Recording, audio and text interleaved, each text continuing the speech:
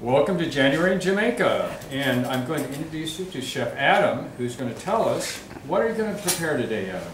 Uh, we're doing raw nori, um, not to be confused with sushi. There's no dead fish here. This is all fresh vegetables. Um, we're using the nori sheets, and uh, we have a variety of items we can put inside here. I made a Brazil nut um, kind of pate. There's carrots in here, onion, uh, miso, ginger, fresh turmeric, um, just a variety of flavors there. And then of course we have beets, carrots, um, turnips, uh, and this bell pepper actually we're going to put pate in. We have cucumber over here. You also have avocado, that's another, another wonderful thing to put inside of the nori rolls. So we're just going to go right through and start filling this guy up and roll it custom order. Who would like to eat this nori roll?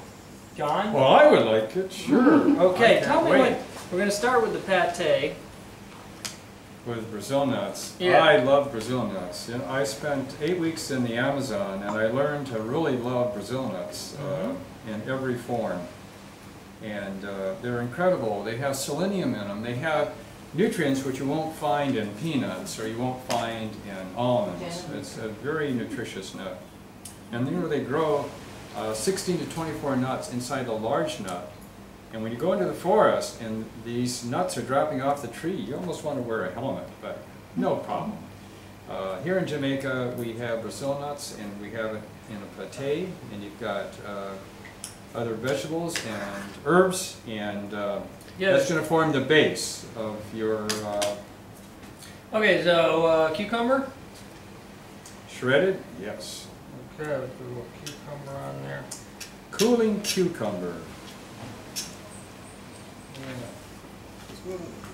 Pile it up nice and thick, and then you end up with a really fat roll. And it adds a little crunch to it too. And there we go. Oh, beet, beetroot. This is uh, incredible.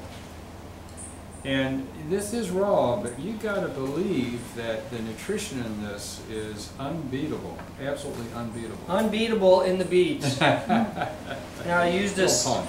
a Spirooli to cut these. That's why we got like the stringy spaghetti looking um, right there. So you're getting some carrot, whether you like it or not. Oh, I like there. carrot. A little carotene there. Chayote. Is there one of these guys in reach? You can show them what it looks like. I think it's right over here, Adam.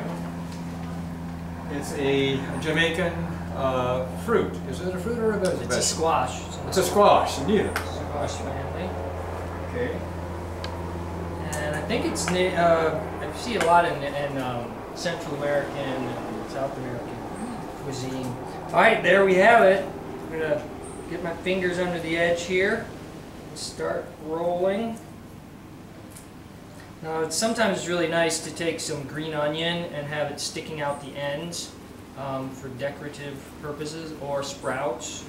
Uh, and then you, then you, you would when you after you cut that piece, you you turn it up, and it looks uh, very decorative. So there we go. We wet the edge. Usually I, I lick it, but we won't do that.